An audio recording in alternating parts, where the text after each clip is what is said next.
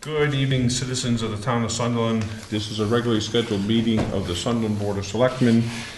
If I had my glasses on, I could read the date, but I think it's October 8, 17th, 17th, yeah. 2016. The David Pierce uh, maintained timepiece says it's uh, 6:44. Call to order. Yeah.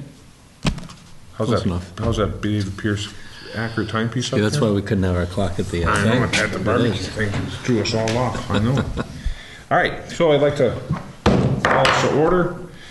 Uh, Sherry's been running the town for the last couple of weeks as we've been on hiatus, so they just rolled us out of the closet to have a meeting. Right, Sherry? Right.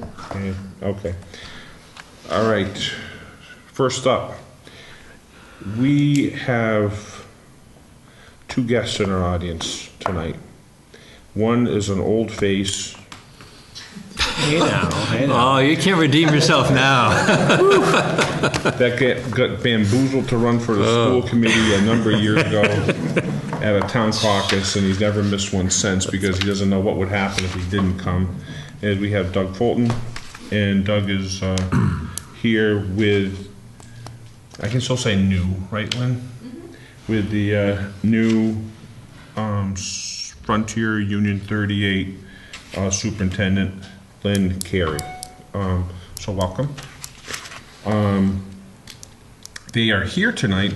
Um, actually, it's a very important reason. Up front. Yeah, you guys can come up. You're all the way- We hate, we hate talking to seats. Well, So, you know, it might fill up any minute now, but so we actually asked the other towns if they want to participate, yeah. And they chose, Okay. they chose not to. Thanks so Uh. Conway, Conway actually has another meeting this Meeting. evening, so they couldn't make it, but we didn't hear back from Deerfield. One of the Whately um, board members is on vacation, so So, so why we thought it was important, when, when we deal with a school, um, things happen a, a little differently with, with, uh, with our school. Must be chapter seventy or seventy-one, whatever the, there's one, seventy. And, and basically, when there's, um, a town meeting vote to appropriate money, um, if the school committee superintendent wish to reuse that money in a different way, what they do is they contact um, the boards of selectmen, in this case of the four towns, and they, they say, look, this is, something's gonna happen, we want to reuse the money in a different manner. Um, What do you think? The boards of selectmen um, on the towns, on the three, four towns, what we can do is then, we can, we have a couple options. A, if we don't do anything, and if we don't do anything, then by right, they can use that money however they want. B, we say no, and then we go, we go back to our um, union, or, our district agreement and see how we figure that out. Or C, we bring you in and understand how you're doing so we can notify our residents so they know what's happening. And that's what we're doing tonight. So that's why we let the other towns know. We thought um, one of the things with being a superintendent of a school district is you, you get to go to five meetings a month if you want to or not. Um, And we kind of want to say, well, one meeting would be fine, we all will hear the same information. Um, So then, then we could go back and make their own decisions, but at least we'd have the, we'd hear the same, the same stuff. So we tried to facilitate that, and I guess we're here.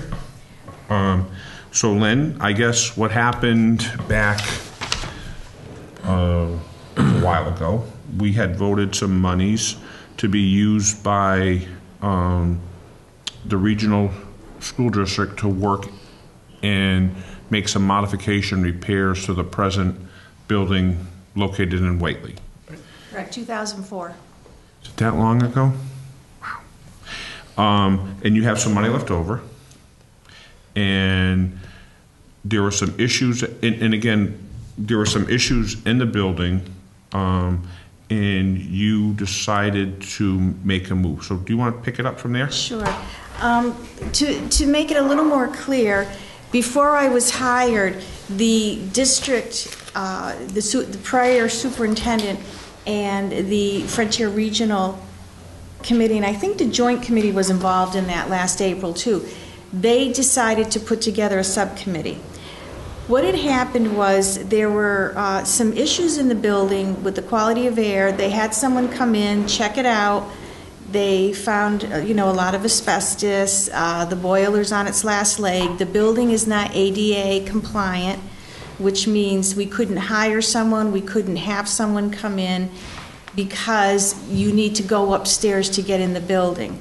There were no fire exits. A lot of those doors were kind of closed and stuccoed over. There's, uh, there's one exit, Stuck it over, I think it's stuccoed. really. I think it, because it all matches. It looks great. They did, you know, it looks a lot better than all these, you know, all those fire flights and everything outside. But um, anyhow, there one exit's kind of locked. There is a an exit in the cellar that was a coal shaft, and so um, consequently, uh, it wasn't ADA compliant. It's not fire safe. There's no sprinkler system. There's no um, no way to get out but the one door we use. Everybody comes in and out the same door, that kind of thing. I guess we could jump out a window. They did replace the windows. They, they did, over the 22 years they were in that building, there were a lot of um, upgrades done, and they were well done. There were some very nice, nice upgrades.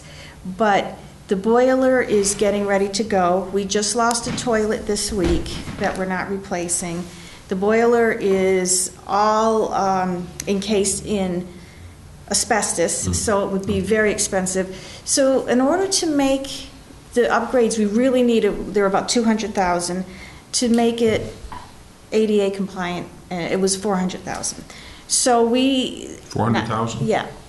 So what the, uh, the joint school committee, before I was, I was, I think I had, in that time had already interviewed and was offered a job. I might have signed a contract, but I wasn't involved. Marty was still in charge until the end of June. The April Frontier Regional Joint Committee, I believe, is when they decided to put together a, a subcommittee to look at different places to move. Um, so they had been meeting, um, they probably met four or five times. Uh, Marty was really looking at Whately uh, town offices. Uh, when I got on July 1st, my very first morning, my very first meeting was the subcommittee meeting.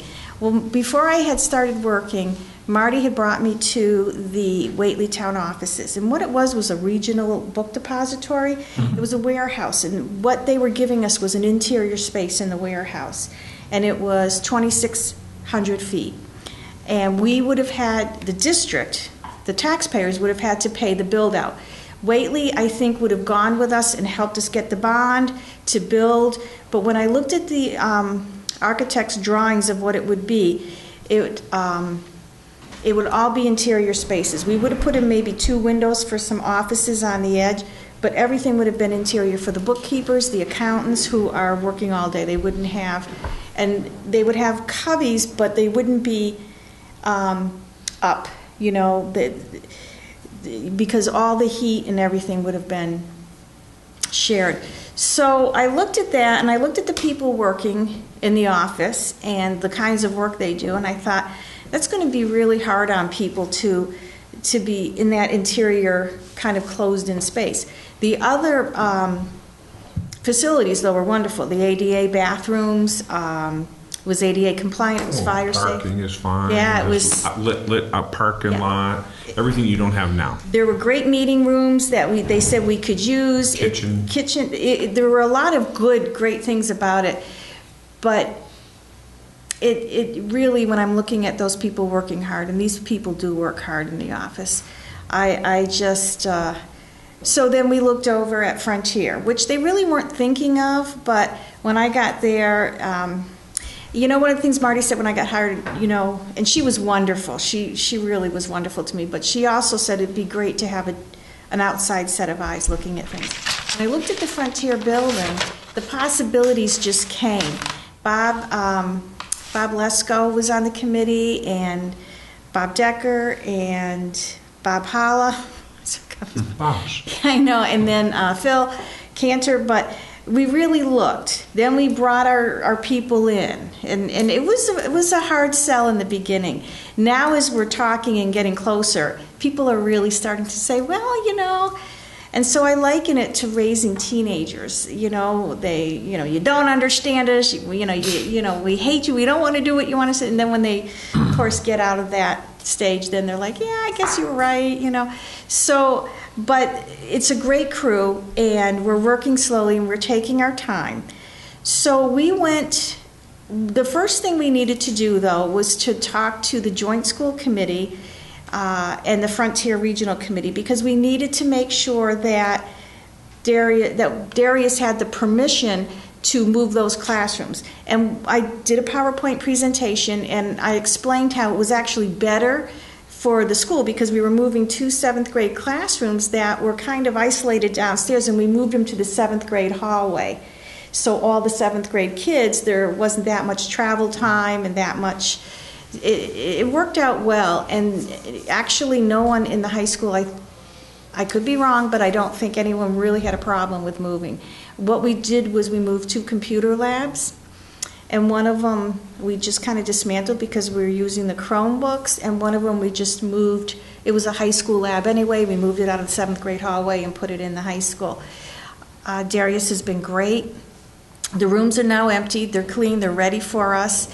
But we also, I also wanted to minimize the impact on the students. So we didn't want to have moving trucks come in, you know, when the students were there or the teachers. I didn't want to disturb anything. And our office would need to shut down for a couple of days. So we decided to do the moving during the holiday uh, break when the least impact to people and, you know, that kind of thing. So we presented it to the school committees and um, we really didn't have the numbers tied down and so that was kind of a problem. But they did give Darius the permission to move the classrooms, which he did.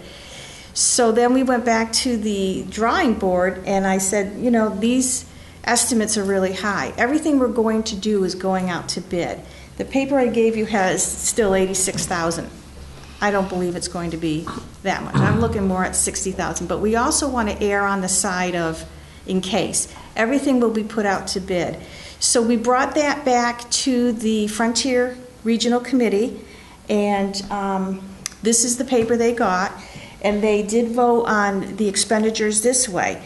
The one outstanding thing is the central office repair article, and those that is where the letters came from. We went to our lawyer. We can't use that money because it's specifically intended for Christian Lane. So we crafted a, a, letter to each of the four towns, the same letter, to ask that those funds be opened up uh, for the move to uh, central office or to be used at the new central office location as opposed to Christian Lane. So there's a lot of history. There's there's about three or four months history before I even came on the job about the move, and. Um, we we really looked at all our there was a committee a subcommittee and the, the subcommittees the, the ones that really got with the frontier idea in the end um, we're paying about $20000 a year to maintain the way the christian lane. Had we moved to now we're paying 24000 at the christian lane. Had we moved to sandy lane and whately the town offices it would have cost us twenty thousand for the rent, and um, we would have to pay our portion of utilities. But also, too, we would have had build-out costs, which would be substantially more than these eighty-six thousand dollars. I don't know because we never really pursued it, but we would have had to get a, a bond, and we would have had to go through kind of a construction phase and uh, involve other people besides the school custodial staff. So when we looked at the long-term effects, it, we're moving into Frontier. We're not paying rent. The, the, the four towns are already paying their portion of the building for um, light and you know electricity, insurance, and all of that. So in the long term, it will be a cheaper choice. I mean, not cheaper, but less expensive, less impact on the taxpayers. The original move is going to co, you know, and most of that cost is really the phone system. And the phone system at the high school is over 20 years old, and they've been having a lot of problems. In other words, the phone just shuts down. Uh, what's happening is when the switches, when you call in, the switch opens up, it never closes back. So there's many days where the you would call in as a parent and you wouldn't get picked up because the phone system is um, not working correctly. So they've tried a couple of minor fixes that didn't really, you know, they, they hold for a certain amount of time and then they start sticking again. So that would have needed to be done regardless. But for us to move in in central office, we really do need to have our phones and our phone system updated. So a lot of the cost you see is, has a lot to do with the phone system. So that's for everybody, the high It school is. and Right, the ba- administration. Yeah, the base of it, the, the base system for the central office, you'll see is the six thousand, or is that eight thousand? Eight- eight, yeah. Okay, I'm sorry, eight thousand. Is that a VoIP system that you're going over We're to? looking at it, but now, the last time I talked with um, Scott Paul, our tremendously wonderful IT director, he's having second thoughts, so he's still doing research. But he does, he did talk about a VoIP. He thought that that would be the best for us. The second piece um, to the rest of the building is the 6,500.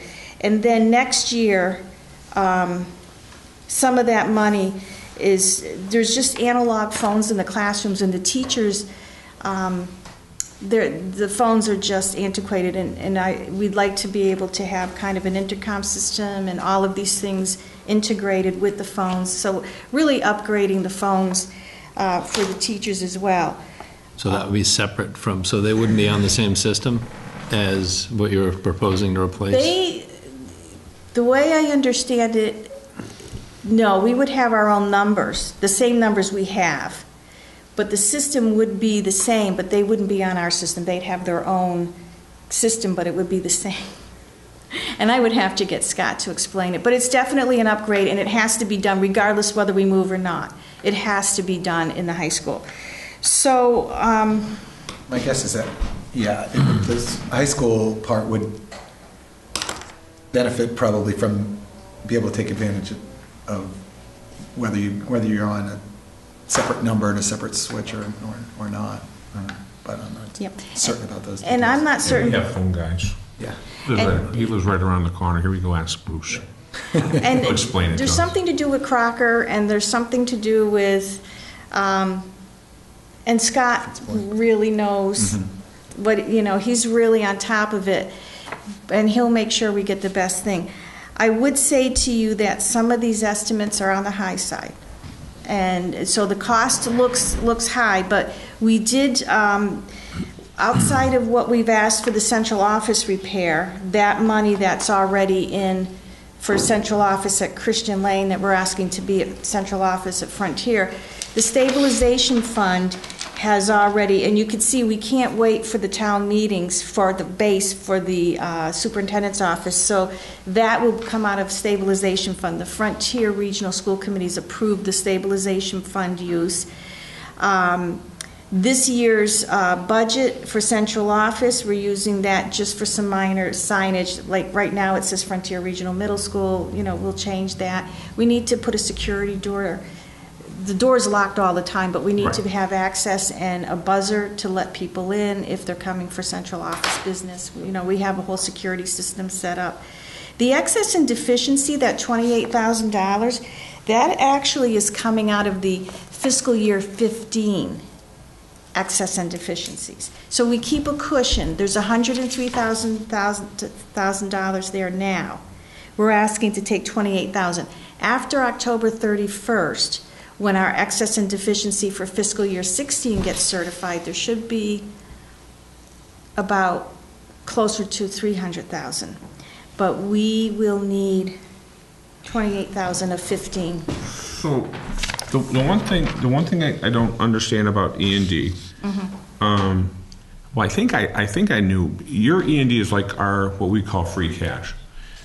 If there was ever a misnomer in Exactly. the world, uh, that was free, and there's no such thing, because it's coming from someplace. But for us to use that money, we need to go back, if, so like right now, we have no free cash, because we have, we go through the, ta- the, at the end of the year closings and stuff. So theoretically, right now, we have no free cash. Um, soon, right? but we know we shouldn't end up with around, what, about, 160-ish. give or take? Yeah. 160,000 are free cash. We can't use it. Right. But if, let's say, if we had everything come January 1st, we'll know we have 100, if we went to town meeting, we had 160,000. But we couldn't use that money unless we go to a town meeting Correct. to get that money appropriated.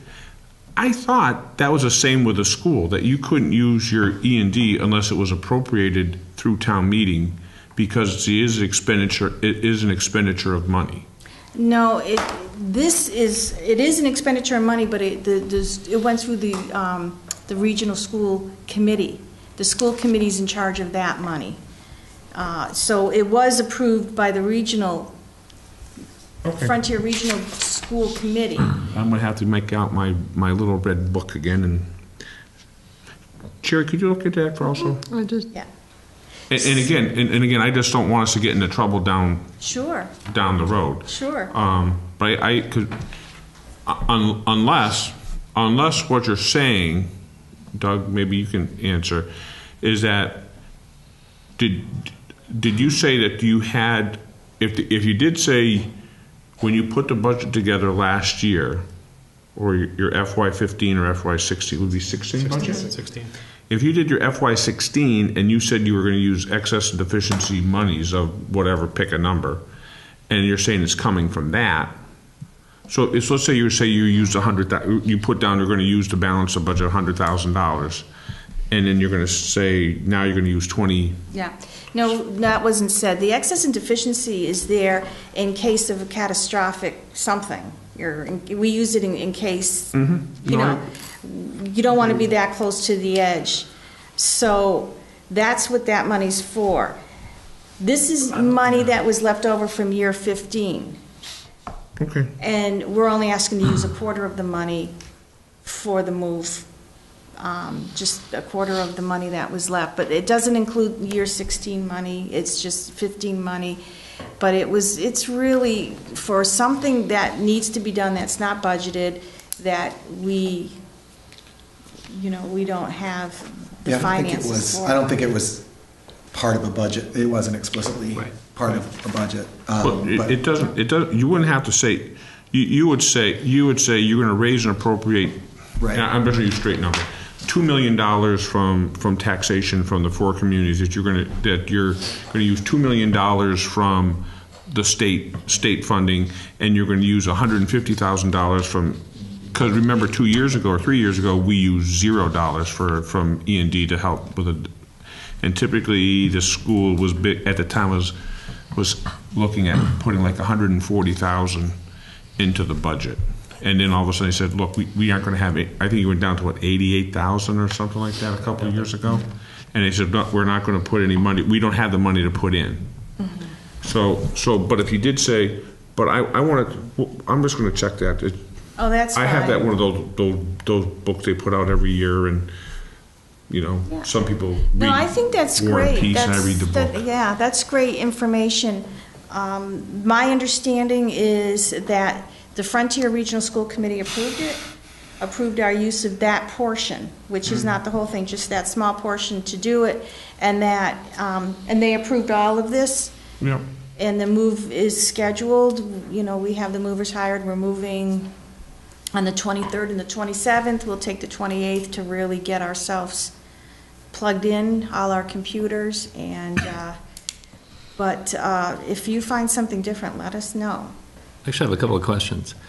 Um, Based on the arrangement and everything, I can obviously see some benefits to moving it under a building that's already paid for, obviously, because then you're spreading the costs of facilities over two groups, let's say. But um, how is, have you accounted for any potential growth in either the administration or the school? I mean, not that population's exploding around here, as we all know, but what kind of room is there we talked about the For growth that. of students. I'm not seeing a growth in administration. I think we're. pretty Probably well set. not administration, yeah, I wouldn't think, you know, Right. if, if anything, it might go the other way. Unless there was a but big growth yeah. in students.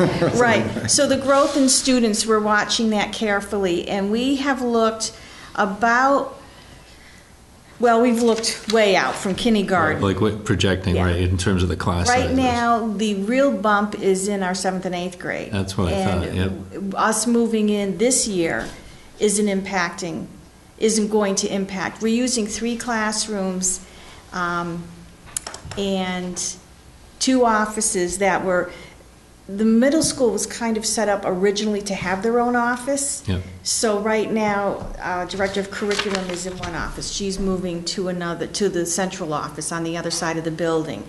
Uh, Bob Lesko's in one office. He's going to move to the classroom with an assistant. I'm going to take his office. So you don't, you don't see any issue in terms of growth? No. Because I know that's a question some people will We're have, using is how are we three- going yeah. to We're deal using with three that? classrooms, and one was used for speech and language, and she just moved to a, an office down the hall. Okay. That, this was, that was my question going into it too, in the meeting, because everything else seemed like it made sense to me.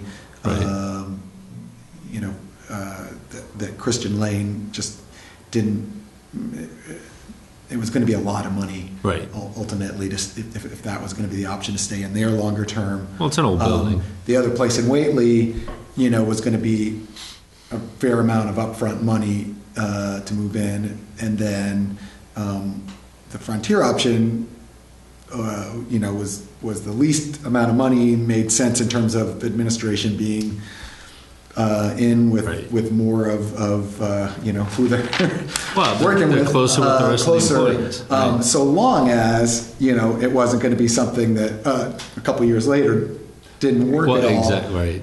And Darius uh, felt very comfortable with, with it. Um, and again, the demographic numbers seem to back that I know there's a little spike, but then it doesn't. Yeah, and, and a lot of it, uh, the Sunderland's had a pretty good spike, but that's Right. mostly been offset by other towns With that have had ongoing dips. Yeah. Um, and that's where the projections have been um, overall.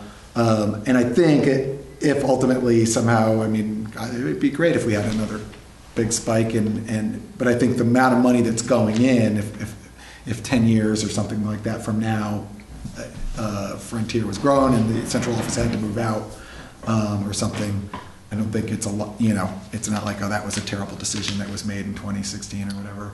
Right, there's enough time to deal with. Right. Um, so that was my, you know, but, that was I had the exact same kind of question was, is this?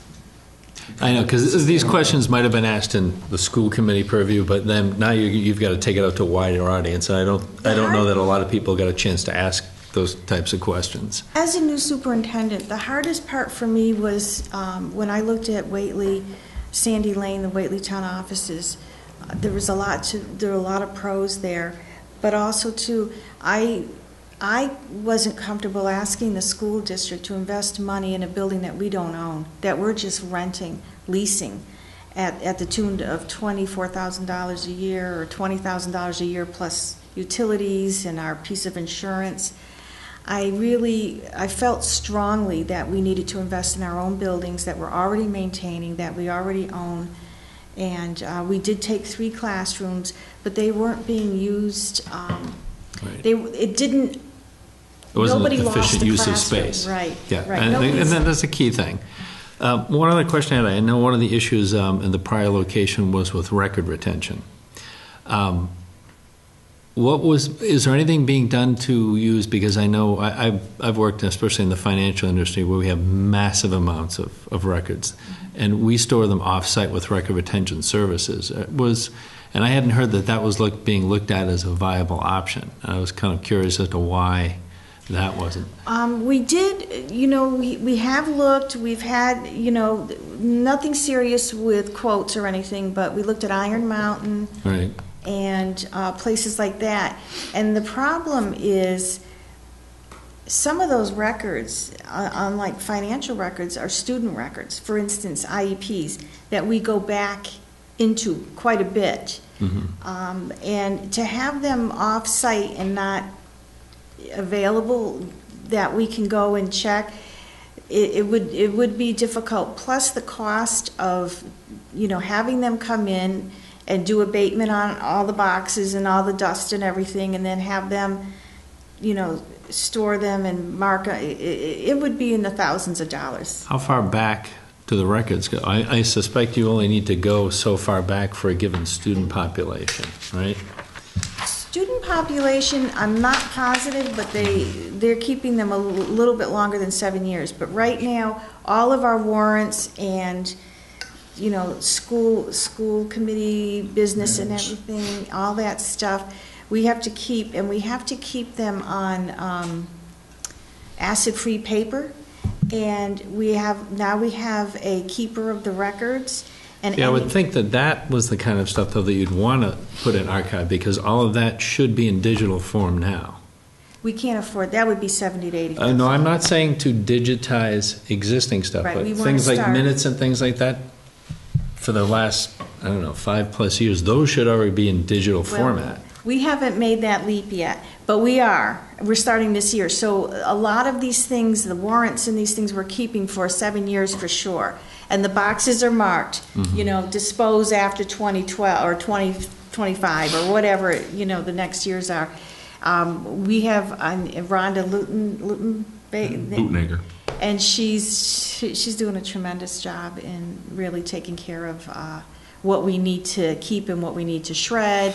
But uh, we are working on that. Nothing has been done before I came. It's the it's the cellar is just full. There's room after room after room, and she's really gone in there and dug around and, and organized. But we do we have student files and teacher files from the 50s. The Not from 1977, I hope. Well, I think, uh, I think that's my point, is that this- the items from the 50s are are not something that you're going to be accessing. You, you don't need immediate access to, and I would think that type of stuff, if you still need to maintain it, should be done with like a records retention kind of thing, to get it that, out again, that off-site. would, they're all in file cabinets, and we either have to shred them, or we have to do something with them.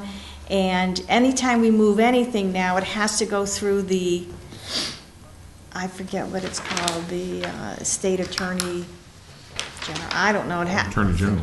it has to go, Right, through it- The Attorney General's office, right? right. Secretary of State, you have to. Secretary of Exactly. State, We have too. to write everything we do. Keeper of records. So it's a lot more complex, and nothing has, nothing has been done for the Frontier District. I, I- I think our, I think, David, I think one of the things that the town clerk hasn't been yet to make her presentation, but it's- she'll be making a presentation to us soon, Sherry. Yeah, we're working on a I, I think, grant I project. think what, what you're, you, you don't have a choice about maintaining minutes, a lot of the financial records. We, we get stuff in here, I, I remember in particular, we had, there was a, a teacher slash coach from Smith Academy that had worked when he was a teenager in the highway department. When he went to retire, our treasurer collector had to go through all the records and to find because it added years of service at the time he could do. And his summer, I think he worked three years, but it added to his retirement. Um, so we had to go find him. So, and I think it's all, all it's changed with the, the latest law that came into effect. A lot of things have changed. And Sherry's going to tell us it's going to cost us a lot of money to to get there, huh? It could. To get It it could. Digital, or, yeah. Just Well, to there's the step archive of it archiving efficiently. digitally what you Right, have what you have, presently. exactly. But I think, I think one of the things that is, a- has been a concern for a lot of people too is, is that it- there's a bit of a problem with the record storage now, and they don't want to see that problem just picked up and moved from point A to point B without addressing some of the core problems of the record retention things. Is there, is, so is there, um, like guidelines, like, so if you're gonna go, say, our, we're keeping our records digitally, presumably there, there's some guidelines you've gotta follow in terms the- of, yeah. um, this, this digital storage of those records, right? Because I know, I I'm know there's a. unclear pl- if there's an- digital alone is good enough. Uh, not saying that di- digital alone, because you really can't do that. We have to keep paper copies, at least everything. But I think one of the things that would help too is is to cut down. There's a plethora of paper that goes back and forth that really could be cut down a lot in terms of. We've done that with our, with our, like our, our, uh, agendas and things like that. Yeah, and then like oftentimes we get mailed invitations for things that we've already got in email and everything, and Uh, One of the things that I found in, in the office now, and we're working really hard to change it, but it'll take time. Um, Because of the, the four different towns, there's a lot of paper that goes to every town, you know. Right. So, you know, we do the payroll, but then it comes here and the checks come and the people sign it, what, and, but we're not a digital, we're not a, a digitally based, we still write checks for paychecks. We don't even, you know, we have, maybe half of our employees use direct deposit. So we're still a very strong paper-based district.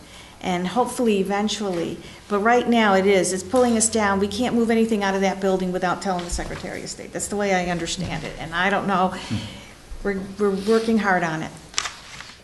Scott, you have questions? Uh, what's the disposition for the blue building in Whately? We're keeping that for our records retention right now. There's no extra insurance. It won't be considered an abandoned building because thirty percent of the building is still populated with stuff. It's not empty. It's, it's gonna be loaded. It's still loaded. We, the goal is to take those records from the cellar and bring them upstairs, so when we do need to look something up, it'll be a little bit easier. Uh, For the, What if you put a mask on? well, we, we, we'll get that abated too Yeah. eventually, and they'll, they'll clean the dust and all that. So we're still gonna have capital planning, capital expenses on the, on the Right. building in Whately?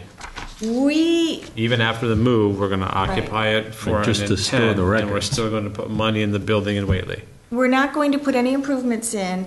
We will, You um, just said abatement, that's only to move the records. totally get it, it's still money. Right. I don't know who's going to do the Right. abatement, but somebody's gonna have to, you know, to move that stuff up. And we're gonna keep it heated, and we're not gonna let nature take it back, and at some point, it'll still need some capital, like roofs, windows, heating plant. The the only, re- the only reason, that- look, why he's saying that, if I could, Scott, we, we were in a very similar, um, situation over ten years ago. Ten years, We, almost. we yeah, owned the that Blue building. Heron. Right. Oh, okay. That was a, to- that was, that was originally the town's, um, town hall. Um, and we owned that building. When the town of Whately, when they left the center school, hit the history lesson for tonight, because this was fourth grade with Mrs. Brooks. This room.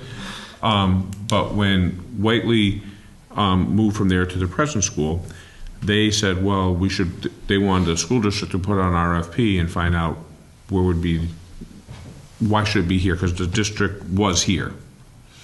Um, so then they said, well, we'll give you free rent. You just pay utilities, but for the first whatever amount of time. So they moved out. When they moved out, our staff moved from that building because it was falling apart, and they moved into here and then we had a building over there, and it was just to maintain it so it wouldn't fall down. We were spending, and we we had nothing there.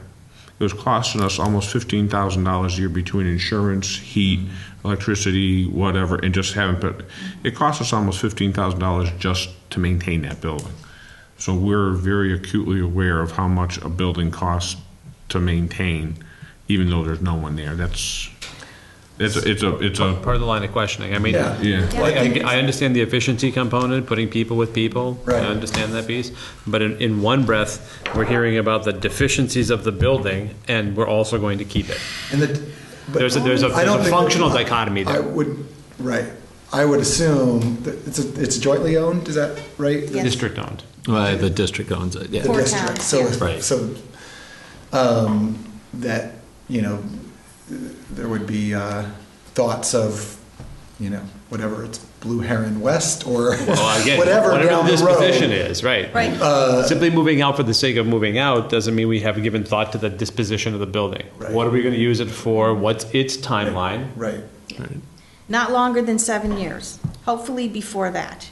Hopefully before that, depending on how much it'll cost with the Secretary of State. Sure. And what, you know, what, what can we do? Can we go to Iron Mountain? What do we do with the stuff we need? If your records were in Iron Mountain and this person needed it, would someone have to go there to?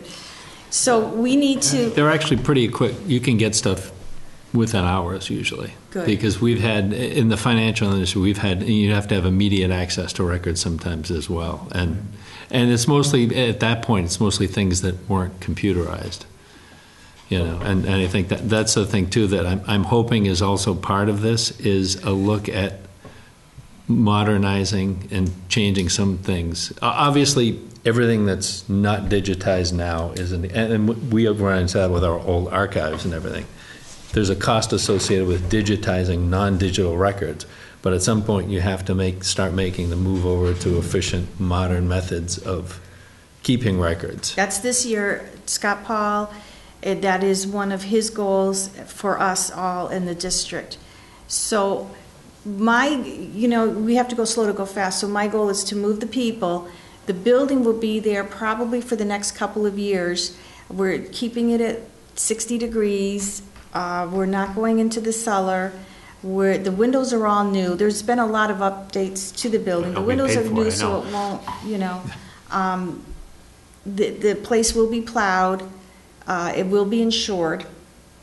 It won't cost any more to insure it because we're, we're guaranteeing there's more than Sure. thirty percent of the building used. But yeah, we have thought about it.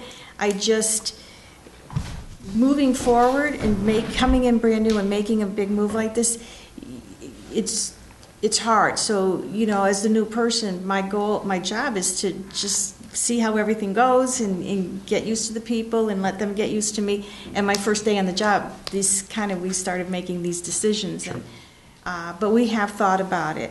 And when the time comes, we will come to the towns and say, this is what we need to do. And there are people that buy these buildings, they make condos out of them, they do all kinds of things with them. Uh, So, It's tough, though.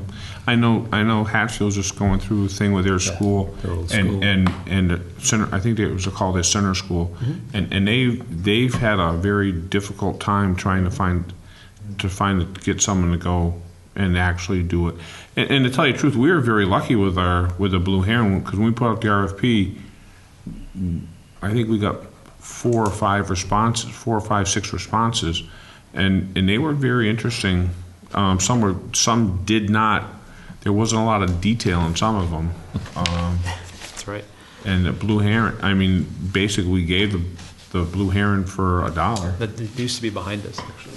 Somebody stole that dollar. It's not We must have needed to pay our last warrant. Oh, it's, it's on the wall? It used to, Oh, it used to be on the, it used to So- came in a so I case. mean- so we paid a dollar, the taxpayers of the four towns paid a dollar for the Whately building. No, actually, I think I think for for the Whately gave Whately gave the building because it was a dinosaur to them because there was a lot of work that needed to be done, and they have very smart people in Whately, Fru- very smart frugal people. in It was an albatross around their neck. Well, I will tell you that the Yeah. district did a valiant try, did a valiant job updating it, and it's really served the district well for 22 years.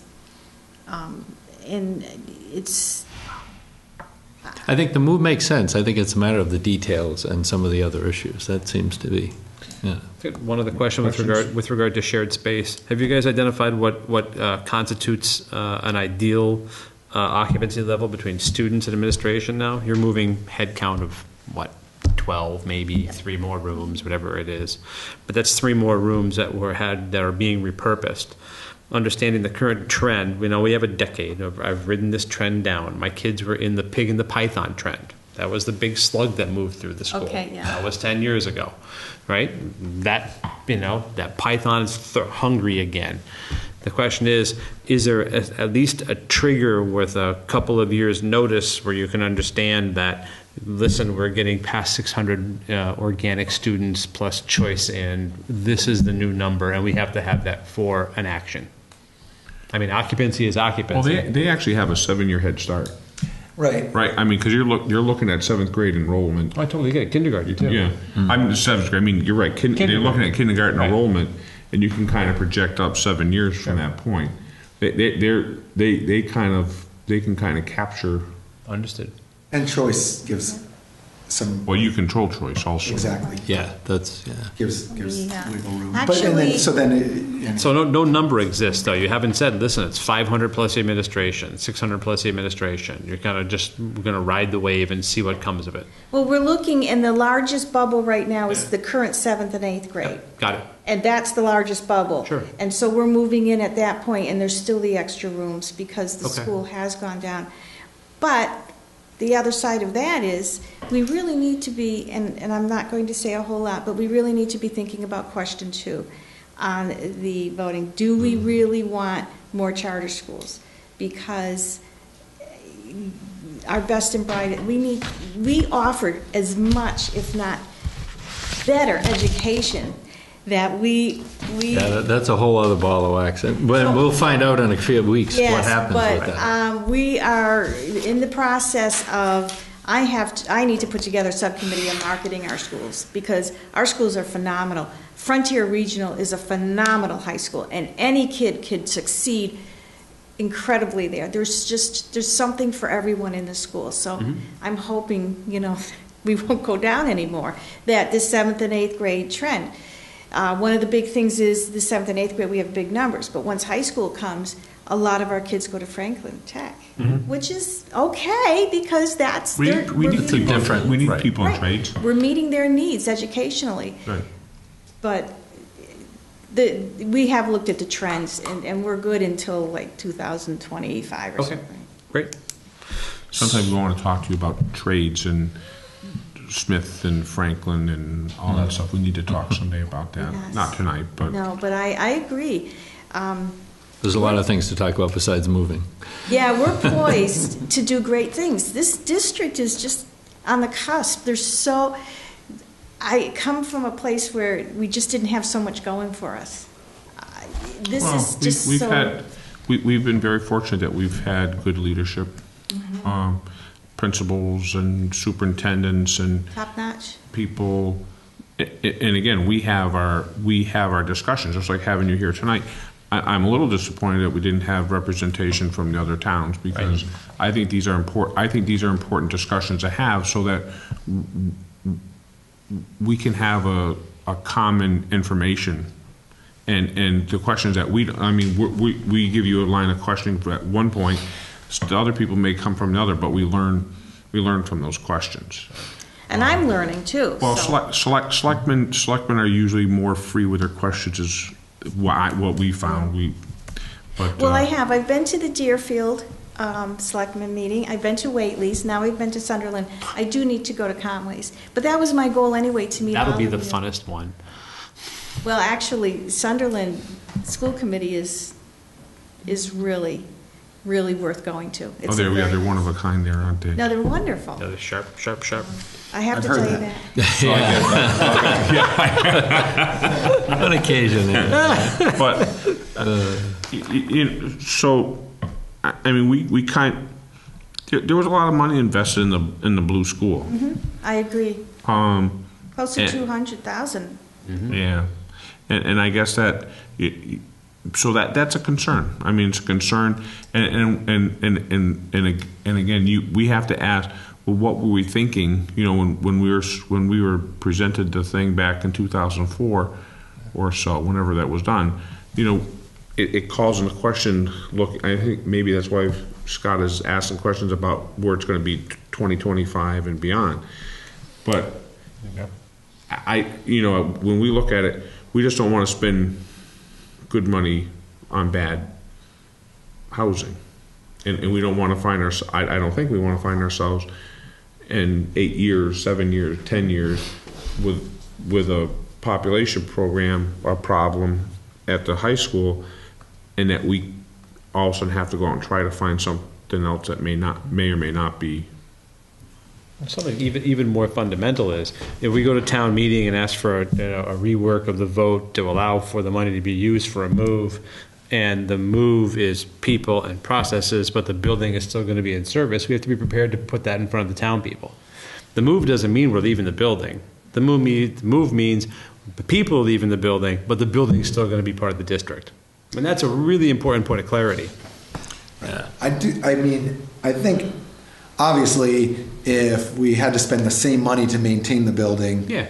Uh, as we would, uh, to maintain the empty building, as we would to maintain it, uh, reasonably with the people in there. Sure. Then we should be entertaining moving. Right. I think those, those two dollar amounts are Right. far apart, so, but, but, but it's still dollars. Make They no- need to be. make no mistake It's not like they need to be accounted for and. and- Look at it. and Make no mistake, though, when people think you're leaving a building, they expect a for sale sign. Right, right, right. Yeah. Right? That's That's just Well, reality. We're And I don't think within a couple of years. And that's a good, right. The sooner that's shed, For- the more you can realize the cost savings from moving over. And again, for us, we know, we know from personal experience, I mean, Right. that, that, buil- that, that building languished for, for years. a Long time, A- that's A right. long time, and then finally, finally, the Board of Selectmen said, look, if, if we had a committee, either we do something, or we're gonna, we're gonna move forward with demolishing the building. Knock it down. And, and we didn't want to do that, but we had to get people off the dime. Right. Unfortunately, with a, a school district, um, where would that impetus come from? You know, was it one town or no town or, we, and we, and, and for us, it just, we don't want that just to be sitting there and become a drag on the budget. And, and, and again, don't get me wrong, when, when you look at the budget, E and D money, and it, that you're gonna use, it is kind of a concern to us because not more than like three years ago, Bob Decker, um, was lamenting the fact that they had absolutely no money in their E and D account, and there's no way that we could, off- they could offset the budget by putting money from E and D to help the towns. And we had a, sig- and we had a significant increase that year. Right. So all of a sudden now you're using twenty-eight thousand out of the E and D. It's, and and that's, that's twenty-eight thousand that you can't use next year to help offset the budget. And unless Lynn comes in, unless she's from Salem, where they do magical things, My little wand. the- I mean, I don't see the budget going down next year. Yeah. Um, and, and so you have to wonder how, you know, you have to make, you have to try to make a sustainable budget. And, and that's, and, and that E and D was kind of nice to have if you could off, you know, could help off, offset that.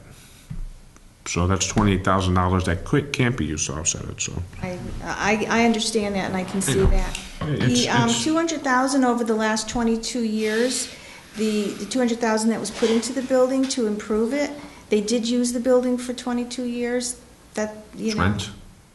Pardon? It was rent. Yeah. Yeah, that's all it was. So it, you know, they did, and like, like I said, it was a valiant, you know, they, they did a lot of great things in the building. But as the time goes on, the building is now over a hundred years old. And the improvements we're making to the high school um, will always be there. Whether we move out and the students move back in, the improvements are there for the community, for the, Understood. um, But, yeah, I understand what you're saying too, so. We're But it'll just, be we're, we're frugal on this side of the river too. Well, pe- I don't know who was involved with, uh, with, or how that, that, um, one ended up Oh, coming about with the Blue Heron, or they, I mean, they just replied to the RP. I mean, I don't- don't necessarily expect to replicate Yeah.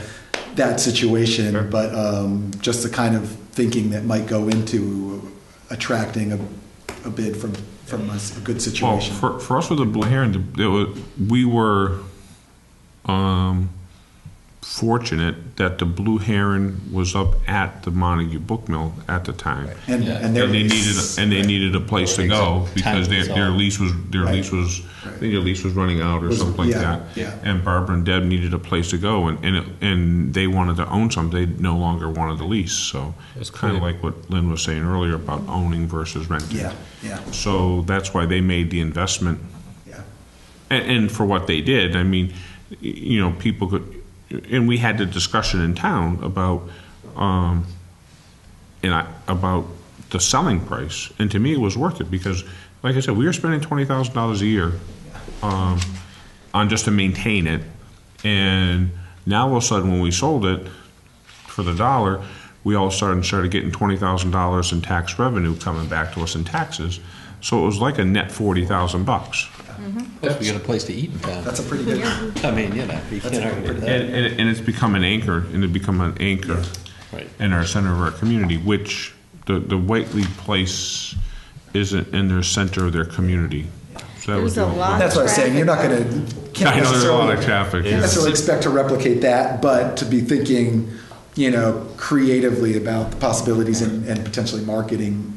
It's uh, got a septic to system those. too. Right. It does have a septic. Yeah. Um, we, we just lost a toilet this week. Um, it, the septic is way out by the, uh, By the- past, past the baseball diamond. Yes, it is. It's And it was a full special thing, how we got that land also for the septic system. All right. Scott, do you have any more questions? That's a challenge for another David, do you day. have any questions? No, As soon as uh, we move though, we will, I will start working on the building, what we're going to do with that We're gonna look building. at the use of the E and D also. Yeah. Yeah, You're probably right, but So the central, but the, and so that first column, just un- understanding, does that, that need to go through town meeting or that is for you, or you all, it doesn't have to go to. it doesn't town have to, it doesn't have It, to? it depends what, the- it depends what the Board of Selectmen say. I, I, Okay. and, and Sherry will look at it, but usually you give us notification, usually if it's not done within a certain amount of time that you can do, but For E and D? No, no, no. No. The central office repair Central- they can articles. use the money. see, in the, in the, the. The lang, the uh, language of the original article is really specific, and it's gotta be For revoted, Christian it's Lane. gotta be revoted at town meeting. All, all it needs to be is changed from Uh, Christian I- Lane to I- 113 North Street, or North Pleasant. Look for clarification on that. Well, yeah, get clarification, yeah, yeah, let us, kn- let us know about that for sure. you know, what, what happens is they can, and again, they have, they have a couple options. Option A is that if the towns vote to do, if the Board of Selectmen, they bring, the school committee brings it to the boards of selectmen. The Board of Selectmen say, they say, uh, that's fine, it's a good use of the money, they can go ahead and by right and use that money. They also, then the Board of Selectmen can say, hey, we don't, we want our townspeople to see, we, we wanna take it to town meeting and see what the town people wanna do. I thought we had advice from counsel that it had to go back to town meeting I don't because it think was so. Not, not unless they change the law. Not to say they don't change the law, but. easy, we, we can, we can Jerry, find you that out. look in that, too. It's just because it, it it is central office, but it specifically says Christian Lane as opposed to. Actually, it was even more North. specific than that, it said specific to a roof repair at Christian Lane. Oh, yeah. It had nothing to do with moving. No, Yeah. no. On that De- year, definitely on, did on have- that year, it was very specific. Yeah. Roof repairs at Christian Lane. So we'll do a whole. Okay, yep, And, central and I office. think that in terms of the timing on that, that piece of it wasn't, No, uh, time, Yeah. time sensitive, Sure, It's not. being that it's mostly heading towards, um. somewhere the- else. Yeah. Right, right. the- Very easy to figure, it- I, I, yeah, I, I think there, there, there's, there's, we did this seven, eight years ago also. Not a problem. Okay. Well, thank you for all your time. Thanks so much. It was nice And talking with please- you. No. Please invite me back. I- No, I do, I, I, I think in January you'll I think probably there's gonna be in. ample Yeah, opportunities. You're not. January, January, February. You may regret those words. I, but I, I, um, Budget I time. appreciate the time, and I hope I was, you know, clear enough and articulate Sure. enough. No, it's not, it, it, and basically, you know, it, you're fine, you were, you're just putting, you were putting between a rock and a hard place. The decision was made before I came on. The decision where, well, I had a little bit to say in that, and, and I, I did kind of sway them this way. But I didn't want to put taxpayer money into a building we didn't own. It just didn't make sense to me. The, certainly the subcommittee was Actually- not, I mean, they were all on the same page in our meeting. Yeah. With this, Oh, so. those are, those are, Well, thank you Great. very much. Thanks so much. Thank you Have a so great day. much, thanks. Oh, it's awfully nice talking with you. Thanks, I'm not gonna shake hands and spread my germs, but, Stay over there. Nice to meet you. Hi. Get the Purell. yeah. Thank you so much. I know a sure cure for that. okay. Next up, uh, minutes from, uh, September twenty-sixth. Uh, motion to approve the minutes as presented? Second. Motion made and seconded, seconded to approve the minutes of September twenty-sixth. All those in favor, please signify by saying aye. Aye. Sherry, I like the, I like your, uh, changing of the email today. Oh, you did? Well, not, well, for the la, for the last year, it's always been coming from Margaret Nartowicz. Oh. Oh, did the- it oh, the- kick over? Good. I, I actually got my first email after a year. I finally got my first email from Sherry. Didn't say Margaret, okay. I thought, and I go, and all of a sudden it was like, it. I clicked the thing and it went boom, and it was Sherry Patch everywhere. No kidding. It's amazing. I blame, I blame Margaret, John. dis- Margaret disappeared, and I just saw her the other day too. It was amazing. Now she and she disappeared. All right, so we have a 3-0 vote on the minutes of the 29th. Uh, Board of Selectmen From you. Board of Selectmen updates. 26. Uh, Mr. Chair, we were downstairs at the 120 North Main Street meeting prior to this meeting, and the RFQ RFP is out. Uh, And again, I want to thank uh, the folks at the COG as well as uh, our very uh, active uh, 120 North Main Street uh, committee. Two questions. We, actually, we were sent 18 questions on the initial walkthrough. And um, two of the questions of real import uh, came to a head tonight. One was, um, asking that the RFP is kind of a loaded RFP. There's a lot being asked for in a relatively short period of time, so an extension of request was requested. And our original request was set for 1020, uh, and we're looking to extend the question period. This goes out tomorrow, by the way, to 1031. The vote, board vote, the committee voted unanimously to do that. And then uh, the actual responses for written submittals uh, extended uh, from the current deadline of 1122 out to uh, 113. There's two trains of thought around that. One is, again, the amount of um, information being asked out of the RFQ. Uh, and the uh, notion that with a little bit of a delay going into the holiday period, uh, we may allow for more developers to participate versus being scared off by the calendar and the deadlines. So those actions took place uh, earlier tonight, and that's uh, that's my update.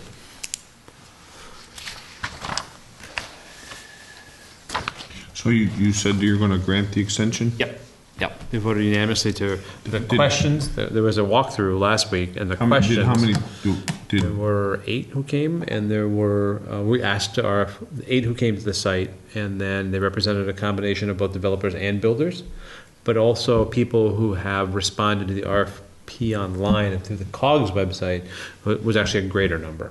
So we're looking to get that number from the COG here electronically tomorrow or tomorrow or or, uh, Wednesday.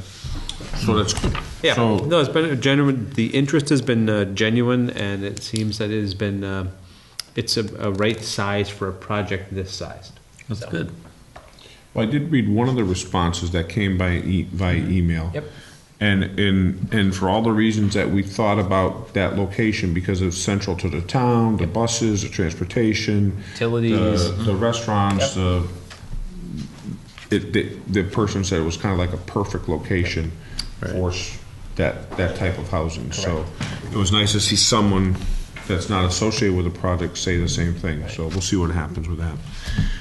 Good, thank you, Mr. Scott. Yep. David? Um, You can see we've got some info up- update on our solar numbers in here, and uh, I can see some pilings going in over at the school, which is a nice, a nice bit of progress, so. um, and We had to postpone our um, Economic Development Committee meeting to a future date due to some illnesses, so. um, And then we have a, when's our next working group? for Uh, the, Complete um, Street, Street one? No, North, uh, North Main We Street have North Main reconstruction is next week. Right. Complete Streets, um, I don't waiting to think hear we- back. I from was gonna say, we didn't have a date on that one yet, so, yep, so we'll, I'll be back here for North Main Street next week, so. I, I think one of, one of the things from the, uh, the, when people see the, um, the solar array goes in is, is how the, the, ba- basically the power generated by the solar arrays are gonna first go and be used to offset the, the use Schools. inside the school. Right. And then, then whatever power goes back out to the grid is gonna help offset the other uses within the town. So we should be seeing, we should hopefully will be seeing a reduction in our, in our electrical, um, charges going forward. And we will be getting some money back, um, from the uh, company through pilot money, Pilot. payment in lieu of Yes. taxes, so.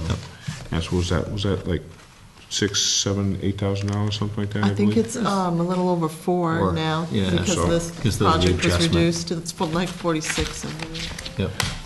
Um, And I think they were giving, I think the number was about seventy percent of the uses during the day when you'd be able to generate solar, which is nice, so. Okay. All right, um, my updates, first is on the, uh, Board of Oversight of the South County EMS. Um, I still don't think we're any closer to finding permanent housing for the South County EMS, although, um, we have a meeting this Thursday night. Um, so if you, if you're, if you're not doing anything and you want to come down to have an enjoyable period of time, it's almost like going to a, uh, it's like, it's a very interesting meeting, so if you want to come to an interesting meeting, come to that meeting. We'll be, I'm sure we'll be discussing the, uh, the housing of the South County EMS. Theoretically, we're supposed to have more information to be shared on, on what that's going to be, on what's going to happen, so, um, as far as the, the service itself, um, I think the service is, is, has met and exceeded any of the expectation that we had. The last meeting, we voted to, uh, the Board of Oversight voted to, um, allow the, uh, um, purchase of a new ambulance that we have had budgeted.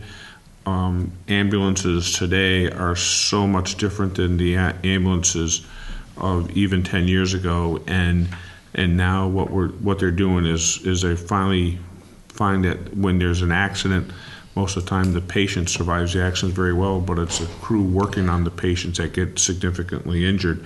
So now this new ambulance that they're looking at, um, the um, EMTs are in a six-point harness. They're seated, and everything's within three feet of them, so they can get everything they would need to work on the patient within three three feet with uh, six-point harnesses. Um, the uh, and it's a much safer um, apparatus for our guys, our men and women. So I, I think it's a it's a it's a good thing. So we talked about that.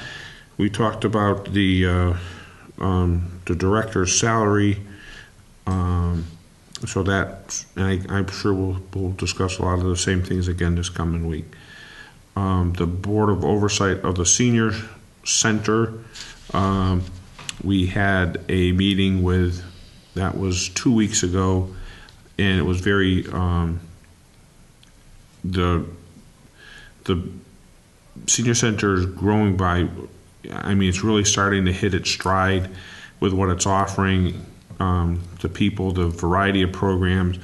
I would say, I, I think there's pluses and minuses to call it a senior center, um, but there's so many different things going on there. It's it's really more like it is a senior center, but it's almost like a community center with with all the different things that are going on. So I would encourage you, or if you know someone that um, could use the services, to take a trip over there and see what's going on. Uh, and there's a triad spaghetti dinner on the 18th, so that'd be Sold out. Is it really? always, Good. That's it's good. always sold out. They do such a good job there on that, and that's on um, Wednesday night. I think starts at five o'clock, six o'clock. Okay. Next up, uh, town administrator updates. Okay. Um, So for the solar project, you also have um, a copy of the Schedule Z solar allocation recommendations from Beth for your approval. Um, That's for the net metering credits for the other town buildings.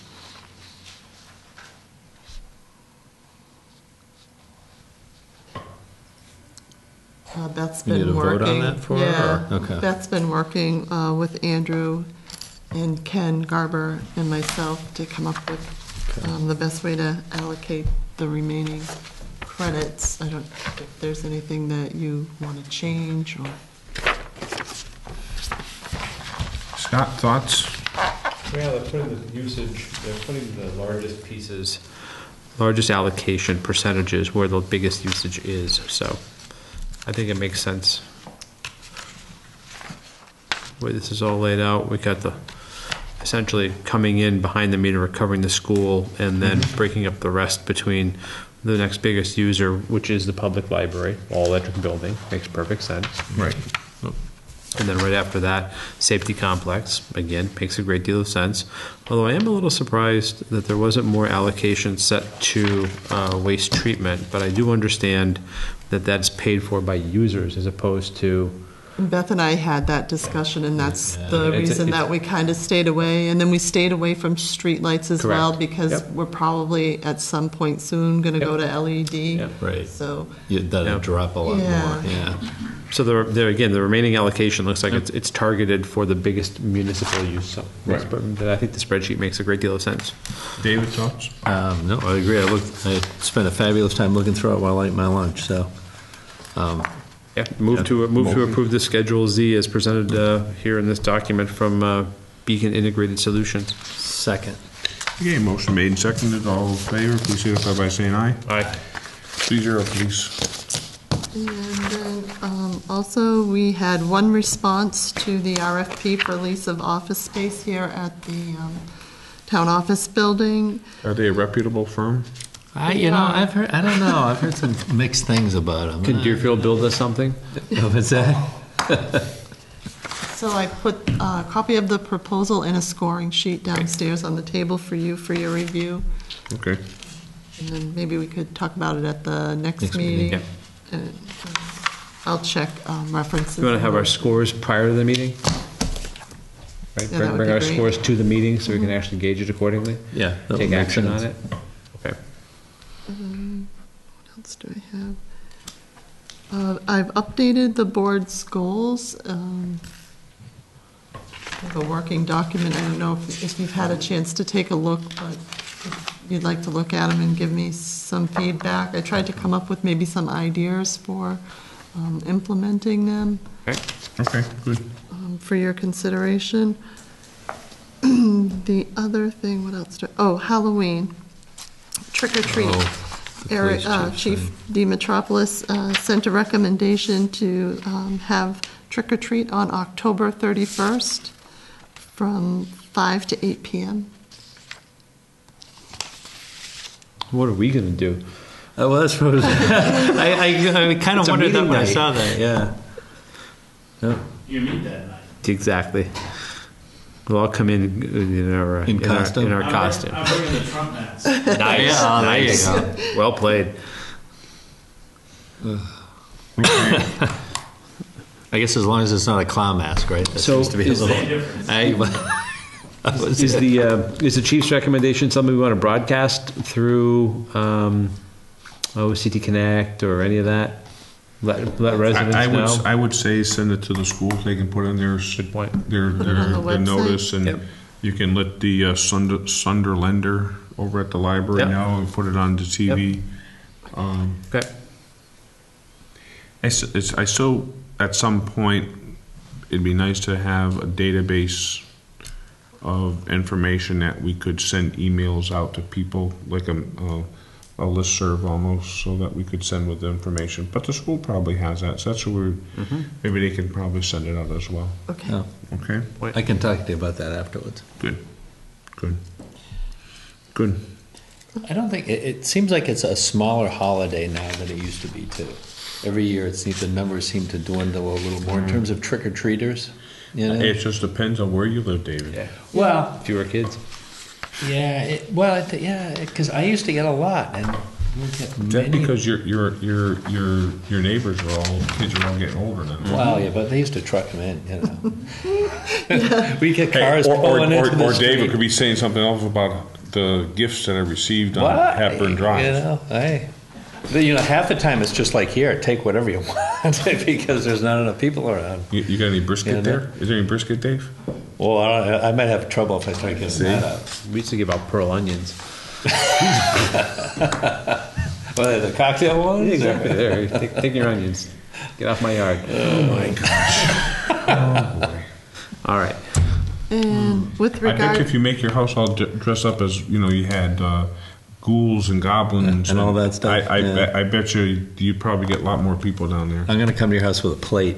And you come to my house, you'd be the first one that's ever come. So, Right, right. It's way out there. Yeah. know, Yep. all the Koloshinskis used to come. That was good. What else you got, Sherry? Uh, With regard to the information technology grant that we received for the telephone upgrade, I'd like to recommend that we use an RFP process.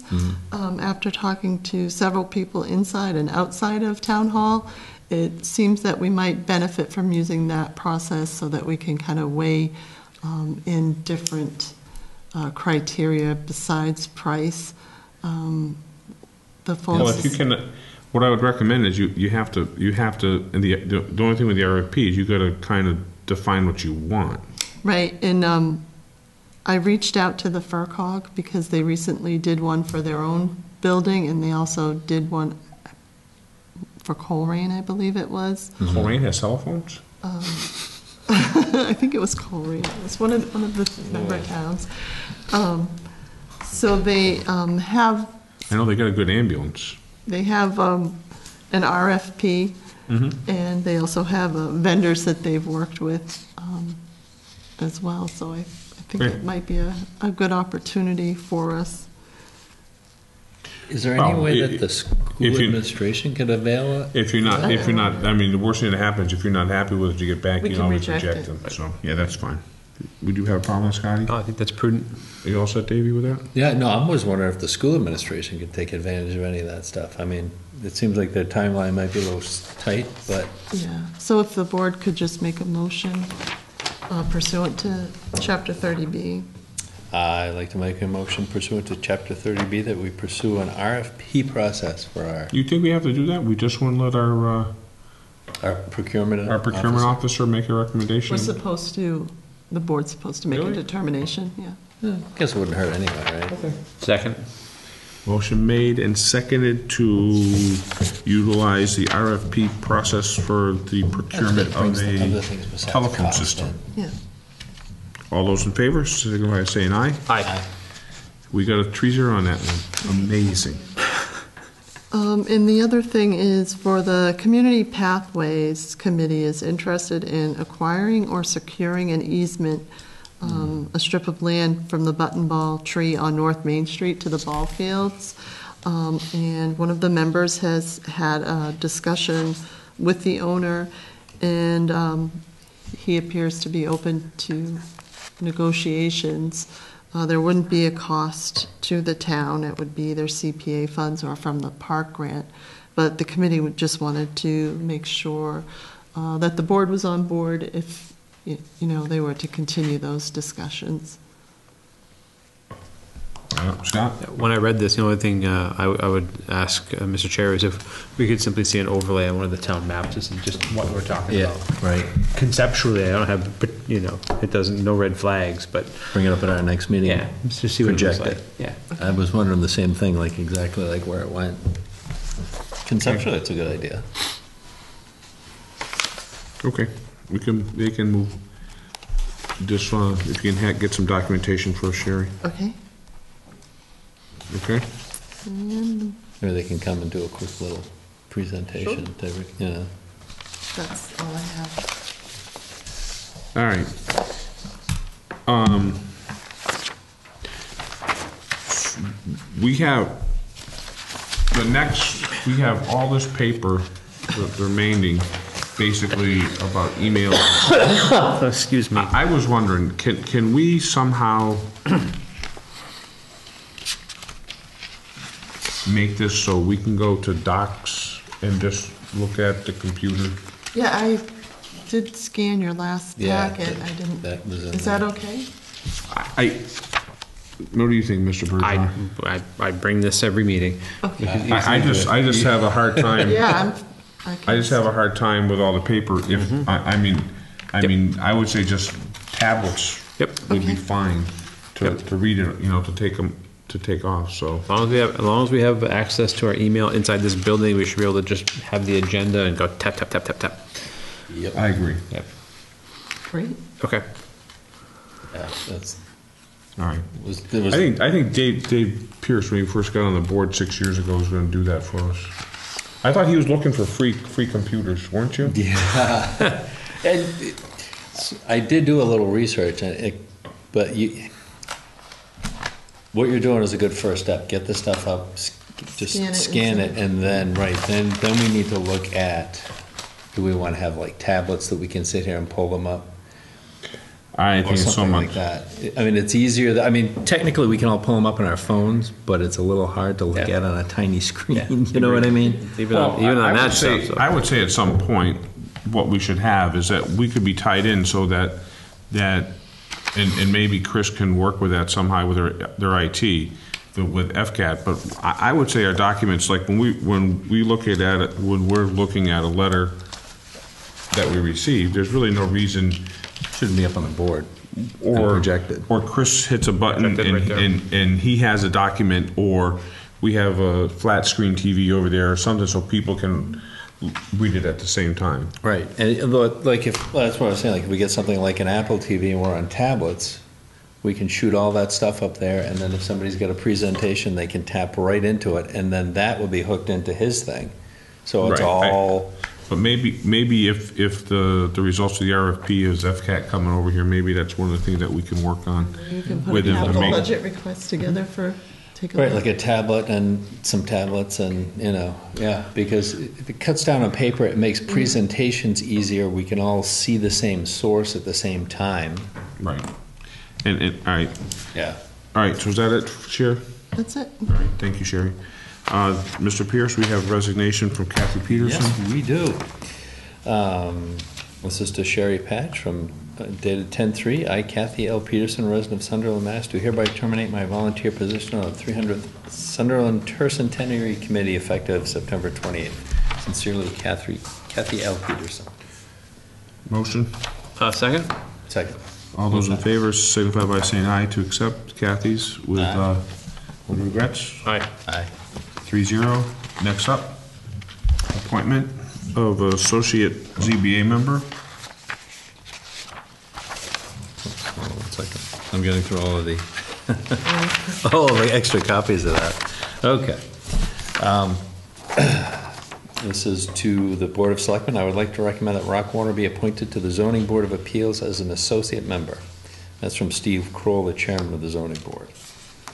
Dated 10-2. I'll make that motion. Okay, a motion made. Second.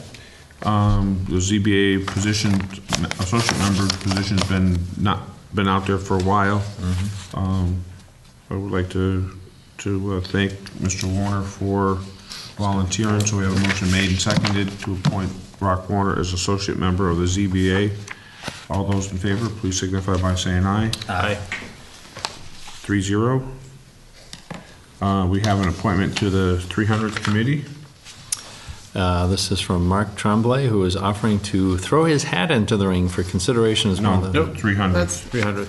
yeah, Vinnie Grin. Vinnie Grandonico, here. Okay.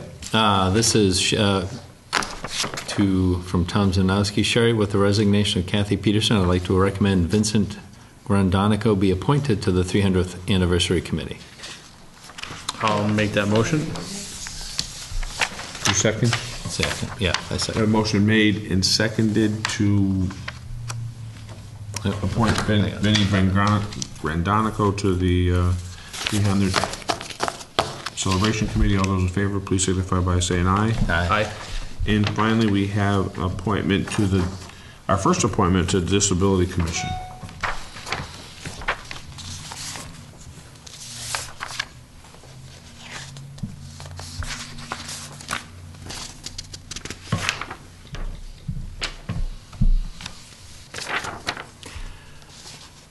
To the Board of Selectmen. Oh, that, that one I had.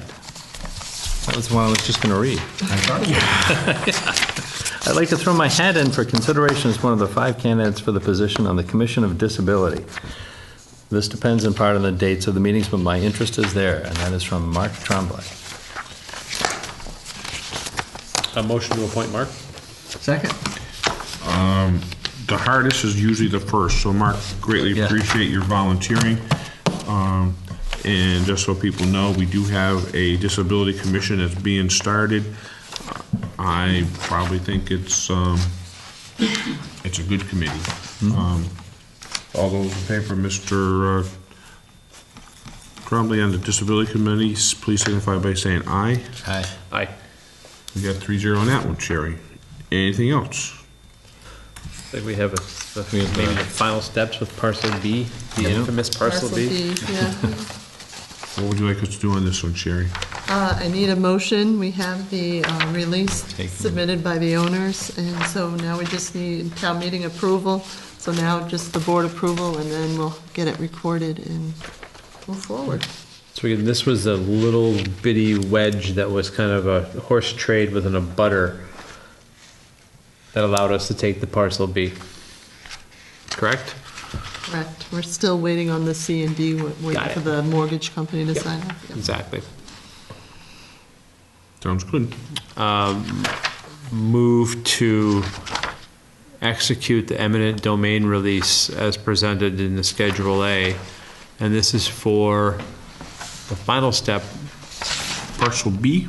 yeah, that a town meeting of April 29, Article 16 allowed the board to execute. This is parcel B, uh, executing under Chapter, uh, General Mass General Law, Chapter 79, as laid out in uh, Deeds and Plans, Book 139, page 81. And everybody thought this is an easy thing. I bet you- I bet you a few members of the PEPFAR committee that are probably gonna fall down Exactly, yeah, totally right now. exhausted by this one. It could be champagne corks They popping right didn't, now they didn't know what they, somewhere. they didn't know what they got themselves into when they first started it. Good point. Um, but again, so we have a motion made and seconded. Second. All those in favor to finally put parcel B to rest, signify by saying aye. Aye. Aye. Okay, we got three zero on that, Sherry. I think that's the agenda, right? Um, just a couple things. Uh, Thursday evening from six to eight at the Sunderland Public Library, there's going to be a meet and greet of our new chief. Um, and if you're available, um, I would, I would highly recommend that you come and, and, uh, meet the, meet the chief, uh, very personable. Uh, you probably have his family there with him. Um, they're very involved with his life as well, uh, his professional life. Um, we, we did, we had the opportunity to meet his wife and one of his daughters when, when we made the appointment and he accepted the position. Um, I, um, I think it'd be great if, um, the residents of the town came out and you have a couple moments to speak with him. Um, if you have concerns or just to wish, wish him to town, um, it's just a wonderful opportunity. Um, so he will be available, um, to meet the community on, that's Thursday night, October twentieth, from six to eight PM at the Sunderland Public Library. Uh, if you have any questions, you can call the, uh, Selectman's office and, uh, Sherry can give you any details or if you have questions, that she can help answer any of the questions. Mr. Bergeron? Uh, no, that's it, Mr. Chair. Mr. Mr. uh, Pierce? I'm good. Ready? Okay, members of the audience? Yeah, pretty quiet tonight, huh? It's when you hit the button and the cricket sound Um, comes up. Right. I, I, I would, I would, Sherry, I would, I do have a couple of questions. I do question if the school can use the E and D account as I, as I said. I, I, I think, th- I, th- I was pretty sure that they had to come back, but it is a regional school district and they may have s- one of the things in chapter seventy that I don't, we may have missed, but, uh, but I think I've had this conversation before with, with a few members, and I, I thought they had to, I thought it was just like them taking free cash, or us taking free cash. We had to come back to the towns and ask permission to do so. Mr. Bergeron's question also is if they can, what are the mechanism for them to access those available funds in those, um, previous Votes. Money that, that was voted at, back in 2004. I think they're, I think they're okay with that by asking the towns, I think. Um, But I do, wish- I, I, Good question. again, unless you're dealing with chapter 70 every single day, there's stuff that you miss. So I, I I respect Mr. Bergeron's opinion because he's been doing this a long time also, so I think we should get a clarification on that, Do that. okay? Anything else? No, that's all. Not hearing anything, I just, uh, so we will be back here, our next meeting is on, on Halloween, October 31st. We will be here, we, um, we'll have a fun, full, packed full night of information for everyone, so. All those, in- I, I look for one more motion for tonight. Uh, motion to adjourn.